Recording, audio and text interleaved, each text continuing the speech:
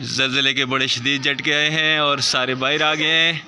कल मैं तयबा का विरद करते हुए सारे इस टाइम बाहर आ गए हैं। ला ला इल्लल्लाह मोहम्मद रसोल्ला रसूलुल्लाह जल्जला आ